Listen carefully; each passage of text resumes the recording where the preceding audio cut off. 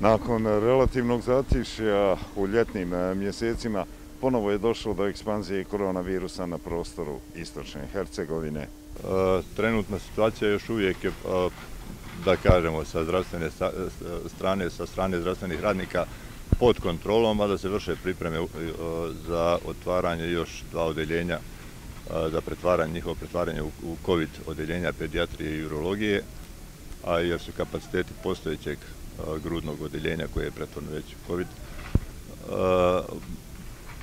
već popunjeni.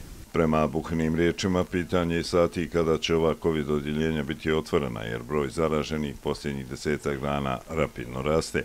Preko 90% hospitalizovanih je na kiselničkoj terapiji, čak i oni za koje još nije došla potvrda da su pozitivni. Epidemiološka situacija je nepovoljna.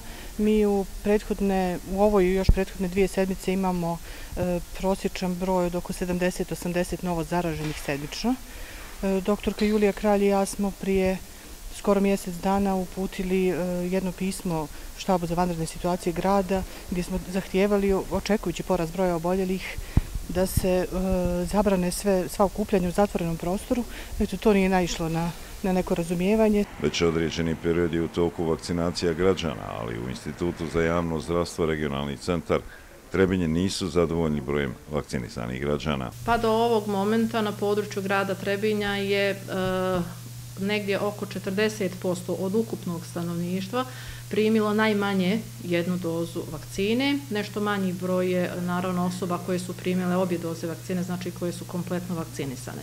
To su brojke koje nam ne dozvoljavaju da budemo zadovoljni. E, trebali bi imati naravno još duplo toliko vakcinisanih naših sugrađana, pa da bismo ušte pričali o kolektivnom imunitetu. Stručnjaci su jedinstveni da ovo nije iznenadna situacija, ona je očekivana, a razlozi su veliki broj turističkih posjeta u Trebinju, kao i u Crnoj Gori gdje uglavnom ljudi iz Trebinja odlaze na odmor, među zaraženim ima i mlađih ljudi kao i vakcinisanih. Vakcinisani jesu uglavnom sa blažim simptomima, ali mislim da ni jedan vakcinisani nije uh, bio na, na neinvazivnom respiratoru i nije umro.